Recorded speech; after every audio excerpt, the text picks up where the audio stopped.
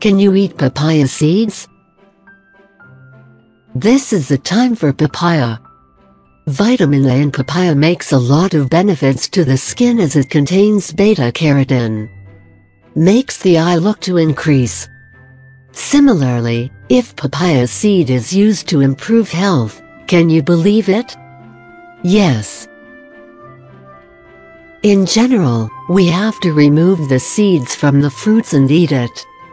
Not all seeds are poisonous. The seeds of fruits are bitter and tasty.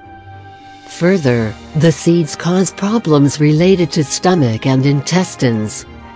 Some nutrition experts say it is best to eat with papaya seeds.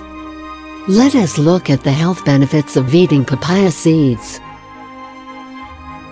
Papaya seeds are a good source of many important nutrients, including antioxidants, monounsaturated fats and fiber.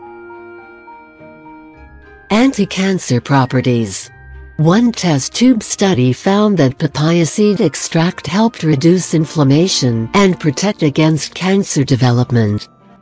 Similarly, another test tube study showed that black papaya seeds were effective in decreasing the growth of prostate cancer cells. Body weight Papaya seeds increase the energy of the digestive tract due to fiber. It also prevents body weight from being increased. Eating foods that are rich in fiber can be consistent with blood pressure and heart health. Great for your eyes.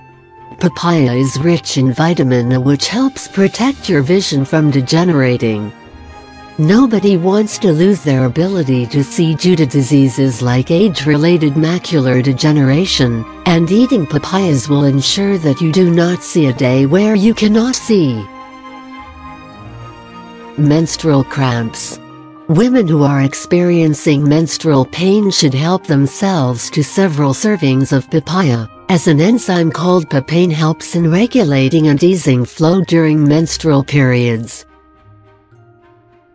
Cholesterol Papaya seed contains a fatty acid and a leak of acids, which can be eaten to reduce the bad cholesterol in the body. Helps reduce stress. After working hard for the whole day, it is a good idea to come home to a plate of papayas.